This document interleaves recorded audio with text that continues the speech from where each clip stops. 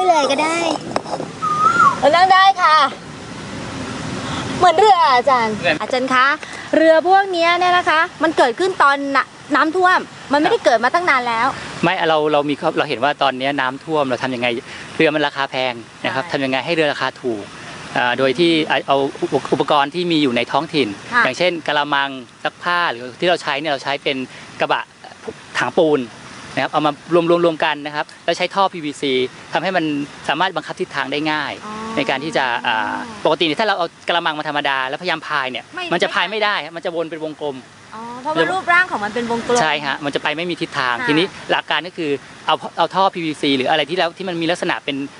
เป็นทรงแหลมๆเนี่ยนะฮะค่ะเป็นแท่งยาวเพื่ออะไรคะอาจารๆย์เพื่อที่จะนำทิศทางให้มันอืม หนึ่งก็คือการน้ำมันจะไปตรงข้างๆ ตามแนวเส้นตรงนั้นเพื่อเพื่อเพื่อเพื่อเป็นการนำทิศทาง มันก็จะค่ะบอกว่าไปทางนี้ แต่ถ้าเกิดเราใช้กระมังเนี่ยมันจะหมุนเป็นวงกลมเลยไปไม่ได้อ๋อนะก็แล้วอีกอย่างคือมันจะช่วยในเรื่องของการสมดุลเรามีทุ่นสองข้างค่ะมันจะช่วยทำให้ถ้าเอียงเอียงซ้ายเอียงขวาทุ่นมันจะรับน้ำหนักซึ่งกันและกันนะครับมันก็จะทำให้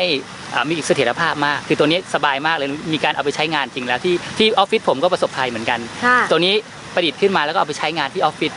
ก็ใช้แทนเรือคือเขาซื้อเรือมาคือเขาไม่ใช้เขาใช้ของเรา คือที่หน้าเนชั่นเนี่ยมันจะมีเรือขายทุกแบบเลยครับ วันที่น้ำท่วมวันแรก ครับ2,000 แล้ววันนี้ผ่านมาเดือนเศษครับ 6,000 ก็มี ครับ8,000 ก็ใช่มีครับ เรือนี้เท่าไหร่คะอาจารย์ ถ้าถ้าชุดนี้ก็ประมาณ2 2,000กว่าบาทนะฮะ2,000กว่าบาท ถ้าเป็นชุดนั้นเป็นเป็นอันที่ถูกหน่อยนะฮะอันนั้นถูก ใช้ขวดเลยแทนที่จะใช้ PVC ค่ะ อันนั้นพันกว่าบาท อ๋อ มันจะนะแค่ไอ้กระมังกับไม้ครับมันจะแพง PVC นิดนึงอ๋อตัว PVC ค่ะที่แพงนะฮะกระมังเนี่ยถ้าเพลินผมใช้อย่างดี อันนี้เป็นกระมังอย่างดีเลยนะฮะ เป็นเหนียวมาก วัสดุทนทานที่เราทำมันเนี่ยเราต้องการให้มันทนทานค่ะแต่ว่าใช้กระมังซักผ้าได้อ่าซึ่งประยุกต์ได้ ประยุกต์ได้ ผมทดลองแล้ว มีผมซื้อมาเป็นกระมังซักผ้าเนี่ย มันก็กระมังหนึงก็ประมาณ 200 บาทค่ะใช้เสร็จแล้วเนี่ย คืออันนี้มันไม่เหมือนเรือ เรือเราจะใช้แล้วใช้เอาไปใช้อะไรอีกไม่ได้แล้ว เราก็แกะออกมาสัอักนนี้ผ้าต่อ เอามาซักผ้า เอามาทำกับปูนนะฮะอืมอ่า PVC นี่ก็เอาไปทำท่อน้ำได้นะครับ สมมุติว่าตอนนี้มันมีการประเมินแล้วแหละว่าปีหน้าอาจจะเจอแบบนี้อีก ครับ เราก็ถอดเป็นชิ้นๆ รอเอาไว้ ครับพแล้วอก็ถอดเก็บได้ถอดเก็บได้อืมประกอบก็ 30 นาที ค่ะก็ประกอบเสร็จใช้เชือกธรรมดาเนี่ยฮะประกอบค่ะนะครับอย่างตัวนู้นตัวนู้นก็จะเป็นใช้แค่ขวดนะฮะมีใช้ขวดมันก็จะถูก คือขวดนี่ก็ไปหาตามตามร้านร้านอาหารก็ให้มา ขวดก็เอามาประกอบกัน อาจารย์คะความยากก็คือการทำให้มันทรงตัวแล้วสมดุล ใช่ครับ ชาวบ้านอย่างพวกเราจะทำได้เหรอคะ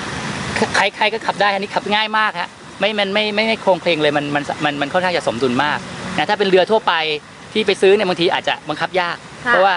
มันค่อนข้างโครง ตัวนี้เราออกแบบให้มันสมดุลมากๆเลยนะคือคืออ่า โดดลงไปได้เลย นี่เป็นส่วนหนึ่งนะคะของนวัตกรรมที่เกิดขึ้นจากภาวะวิกฤตในช่วงน้ำท่วมใหญ่ของเมืองไทย ไม่มีใครคาดเดาได้ละค่ะว่าปีหน้าเราจะมาเจออะไรแบบนี้อีกหรือเปล่า ถ้าคุณเห็นงานชิ้นนี้แล้วจะไปเตรียมซื้อกะละมัง